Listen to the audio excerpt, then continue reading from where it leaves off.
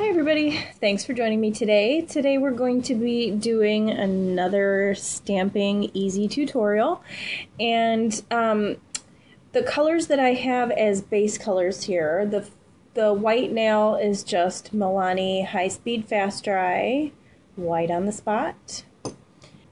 And on the other nails I have a single coat of this Sally Hansen Insta-Dri. The color is called Presto Pewter. So I have that on the thumbs as well. It's just one accent nail. What I'm going to be using next is this polish from Wet n Wild Megalast. This one is called I Need a Refreshment. And I'm just going to be sponging that onto my nails, just using a piece of cosmetic sponge.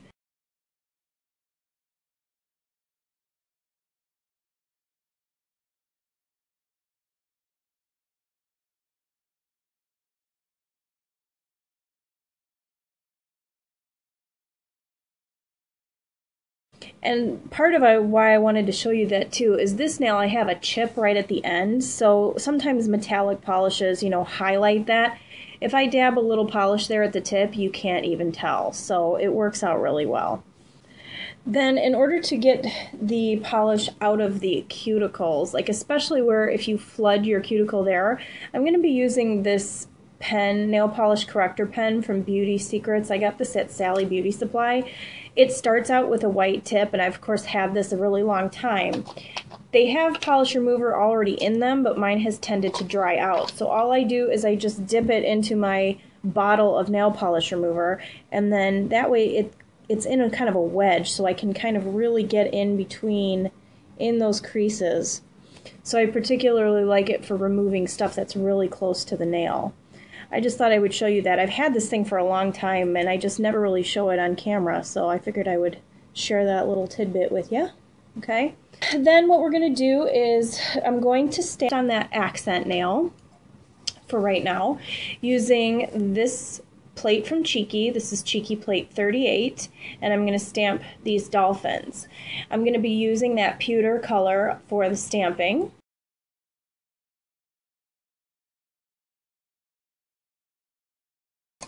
Okay, and I'm going to place that over the whole nail. See? So I got these neat dolphins, and that kind of blue splotchy pattern gives it sort of a water effect, which is exactly what I was going for. Let's just do the stamping on the other nails too. So I'm going to go back to my white polish that I used on my ring finger, and the next plate I'm going to use is this one. This one is actually a cheeky plate as well. It's B10. It was from a really small set that I don't even think they sell anymore, but you guys can kind of look around. I think Konad might have a plate that has these bubbles on it as well. To me, they look like bubbles, so that's what I call them. I'm going to stamp those in white.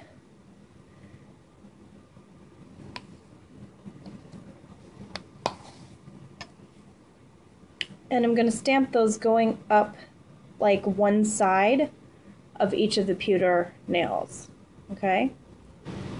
Okay, so now that all of the stamping is done, I'm going to take a minute and clean up around my cuticles. Okay, so the next step that we're going to do is we are going to take a matte top coat. This one is from Hard Candy. It's called Mattely in Love. And I'm going to put a matte top coat over just the pewter nails. Now I'm going to have to brush extremely gently over that stamping so I don't smear it because matte top coat is not really that great with stamping typically. So if you feel like you can't brush gently enough to keep it from smearing, then put a layer of regular shiny top coat over it first and then put the matte on top of it. That'll work just fine. Then over my dolphin nail, I am going to just put a clear top coat.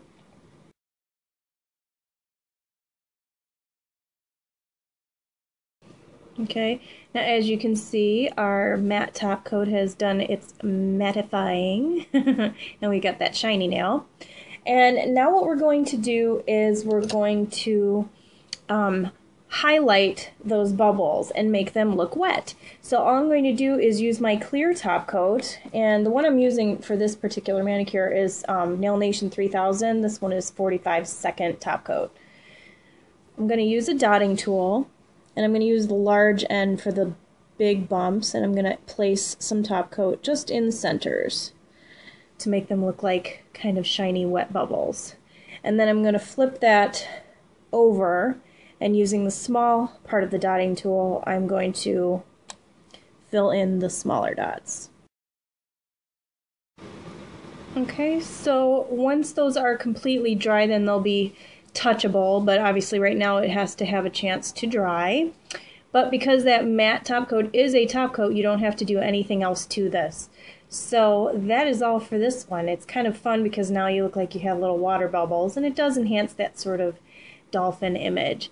So that's it for this one. I hope you guys like this one. It's kind of fun, and um, thanks for watching. We'll see you next time. Bye.